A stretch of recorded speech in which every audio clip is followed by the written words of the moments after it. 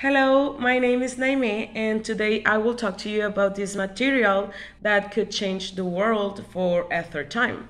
So, thousands of years ago, Romans used a material to build and construct that still stands to these days. Uh, buildings nowadays are are made out of a similar material, which is called concrete. So producing it helps to increase uh, global temperatures. Uh, one of the components of, of the concrete is cement, uh, which holds the other ingredients together, which are water, sand, and gravel. So producing this generates lots of carbon dioxide. Uh, the essential ingredient of cement is calcium oxide.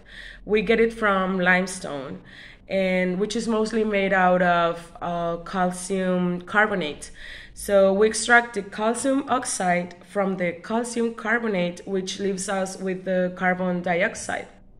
Uh, researchers now are trying to create a clean concrete uh, using uh, clean electricity or alternative fuels instead will help to reduce uh, these these emission, these greenhouse uh, gas emissions.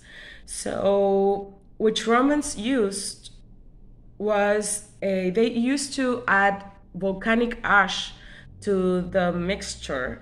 So when it uh, get in contact with the seawater, it made it made it stronger and long lasting.